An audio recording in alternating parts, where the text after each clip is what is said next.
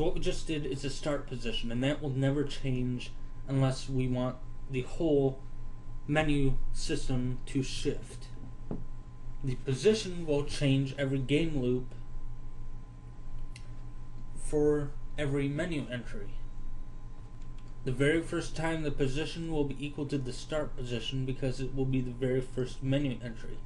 Then we will increment position by pushing Y down. That will give us menu entry 2's location, and so on. Now, if we look at the completed sample, when we select a menu entry, it's going to be yellow, and when we, when we don't have a menu entry selected, it's going to be white. And if we move down, it's going to change the selection, which will change the lower one to yellow, and the one we already had selected back to white. So that's going to be independent. We can have a menu system, a derivative of the menu screen, that can change it to red and blue, for example. So we want to make it completely customizable, so we need to add this to the core menu screen itself. I have an, a color object. And I named mine selected color. Public. It's going to have a public property because we're going to get and set it inside of the derived menu screen. And capital selected. So both get and set return lowercase selected. Set lowercase selected is equal to value. Now for the non-selected object, I chose just non-selected.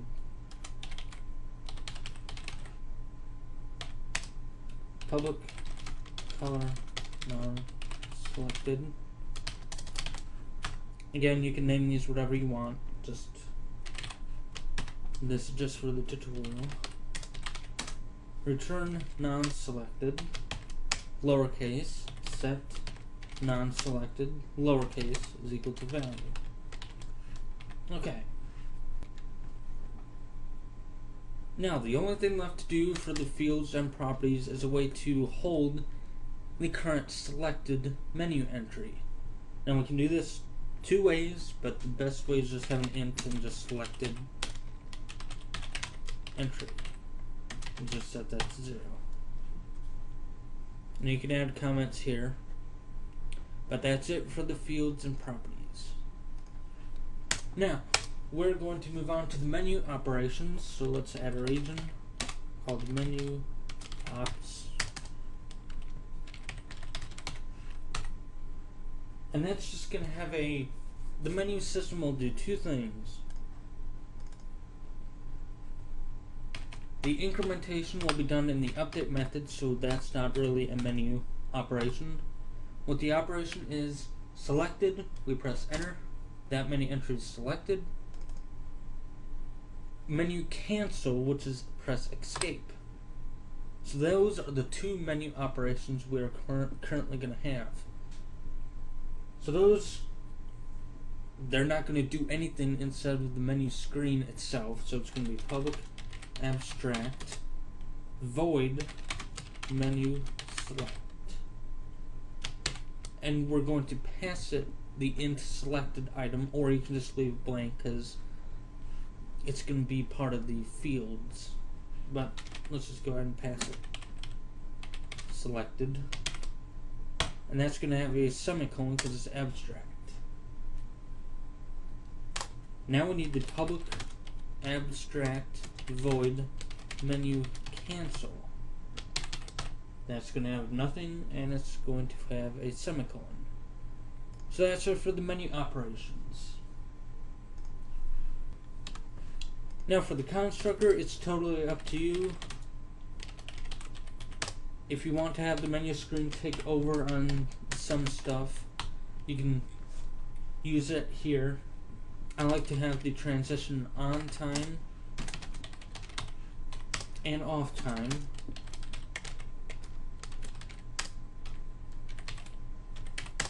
taken care of in this method. And I like to set it at 1.5.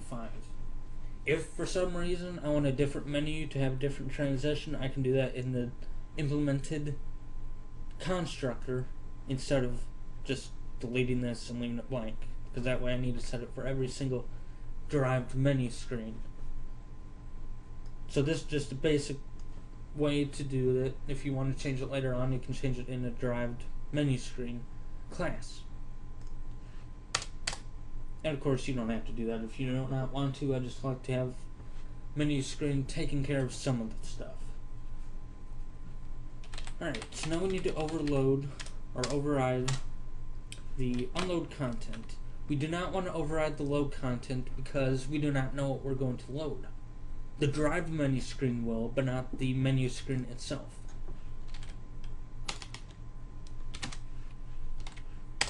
Now, unload content, we know what we're going to unload. We're going to load the sprite font. If sprite font does not equal to null, which means sprite font exists, sprite font is equal to null. So that's all we need to do for the unload content.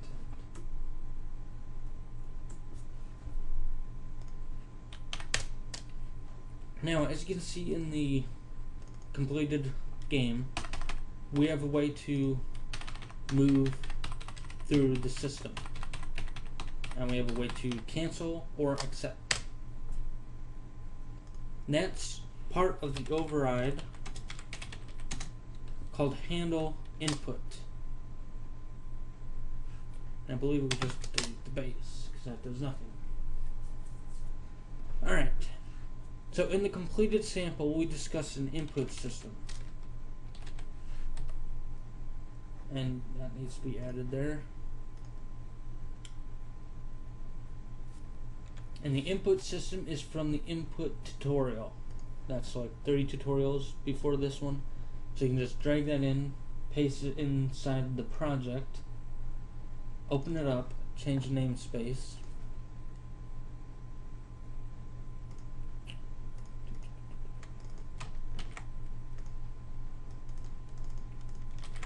And go ahead and change it for the menu screen itself since I forgot to cover that. Okay. So now we have an input system. We're just going to grab the uh, we're going to create an input object called input.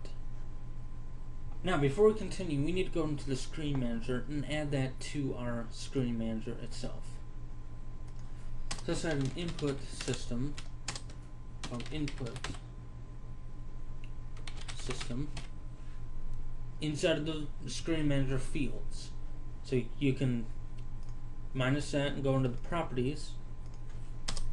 Public input system input system get return input system Okay, so now that we have a property to get the input system, initialization, screen manager, do after init is initialized is equal to true, input system is equal to new input system. We're just adding the functionality of the input system to the screen manager.